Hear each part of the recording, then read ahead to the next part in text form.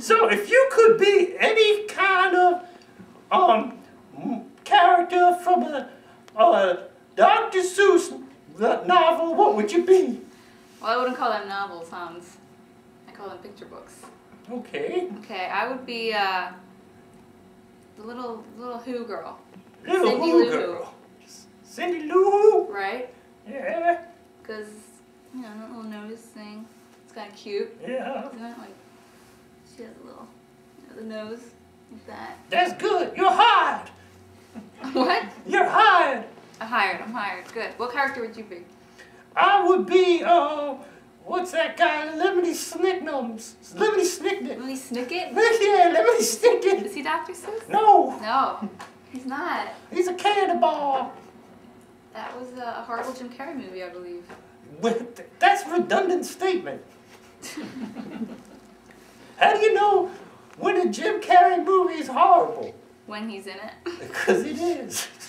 I have to disagree with you there, hon. You have to disagree with me? The true Come on, let's go. Right now. Come on, you and me. Let's go. Disagree. So, you see any good movies? Oscars are Sunday. Tomorrow, Hans. Yeah. You see any good movies? Benjamin Uh, Button? Benjamin, no. I don't want to see that backwoods gump trash.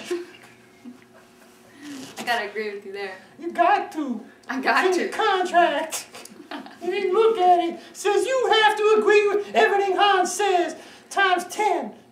I think it was times 20. Times 20, all right then. Did you see uh, Milk? Uh, yes, it was coming out of my nose when I laughed at a joke told by Carolyn Busey. I say my last name wrong every time. Yes, I said Carolyn Busey. There you go. I, I had milk coming out of my nose. She told a joke so funny.